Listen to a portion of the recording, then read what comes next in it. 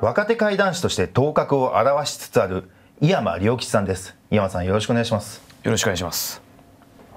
あの有名な東京にある心霊トンネルがありまして僕は行ってないんですけど、うん、僕の友人が、まあ、若い時にこう女の子とか連れて45人で車で行ったらしいんですね。でその伝の噂というのがあの中に入ると白い服の女が追いかけてくるみたいなお話がある場所なんですよ。でなんかざっくりとそんな感じの話しか知らなかったらしくてまあ行ってみるか。って夜中車乗せて、まあ、着いたんですよね。そしたらさっき女の子連れてきたと言いましたけどその女の子はひどく怖がって行かないって言ったんですね。車に残ってると。だからあなたたちだけに行ってもう私近づくのも嫌だってなったらしいです。で無理に連れ出すのもあれだからじゃあ残ってていいよって言ってその男連中だけでこう行ったらしいんですね。車降りてからテクテク歩くんですけどそしたらすぐにその女の子が追いかけてきたっていう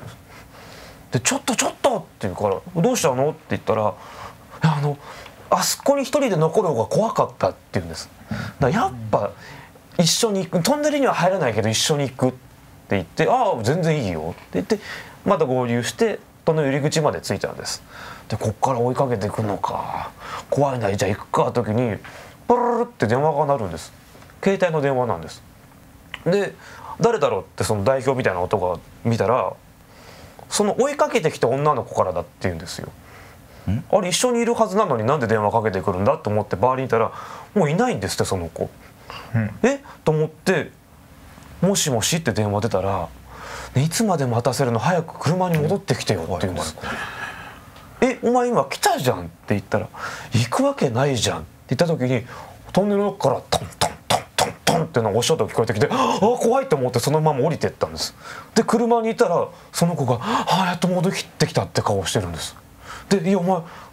追いかけてきたでしょ?」って言ったら「いや言ってない言ってない」って言うんです。明らかに嘘ついてる顔じゃないんですよ。えじゃああれがそうだったの？と思って。でもその時にその女の子見たらその女の子は白い服着てたらしくてあ